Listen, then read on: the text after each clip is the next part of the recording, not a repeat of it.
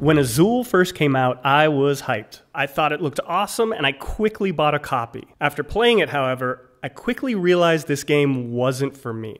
The first main issue I had is that this game seemed to be just as much about sticking someone else with the bad pieces as it was trying to make sure you get the pieces you need. The second issue I had is that this game was so linear. Rather than living in the moment of your turn, it becomes more chess like, where you're thinking about the next four, five, six, seven turns. If I choose this, then my opponent does that. So then I could do this, and they'll do that.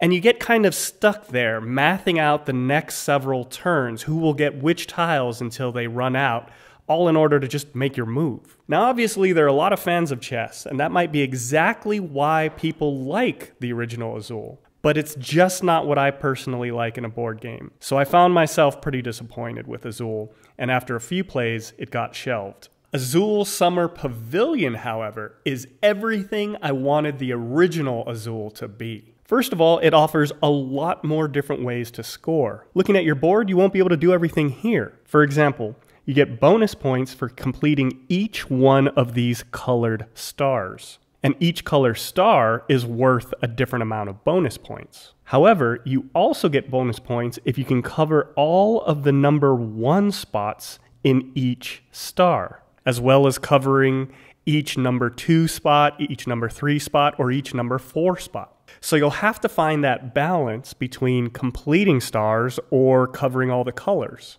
The way you lay tiles side by side also affects how you score. So overall, you have a lot more agency in this game compared to the original Azul. The other factor that I really like is that getting stuck with tiles is much less of a factor in this game. These four slots in the corners of your board, those allow you to bank tiles for a later round. Can't place that last green? No problem. Place it there and you have it to use the next round. You also have a lot more choices of how to use your tiles overall. Laying a tile in the number one spot for a color will cost me that one tile.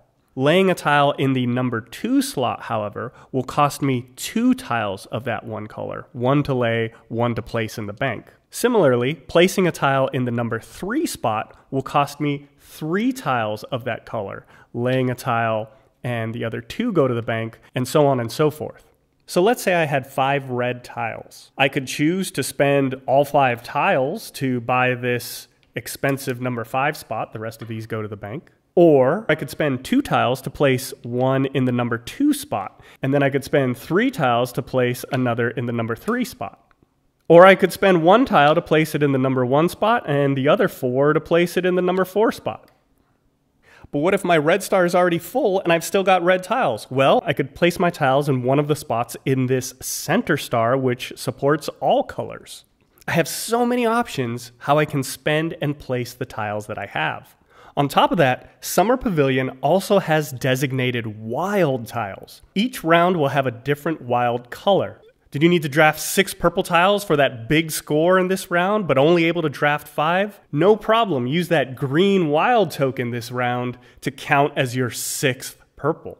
And if that wasn't enough, you can work towards spaces on your board that give you an additional reward where you can draft one to three tiles from the bonus pool. Azul Summer Pavilion is so good. It fixed all the issues I had with the original Azul. It's everything I wanted the original Azul to be and more. Whether you're a fan of the original Azul or not, you've got to give Azul Summer Pavilion a try. I highly, highly recommend it. Thanks for watching, and thank you so much for the likes and subscribes. I hope you found this video useful if you're thinking about trying Azul or Azul Summer Pavilion, and I'll see you next time here on Board Game Casual.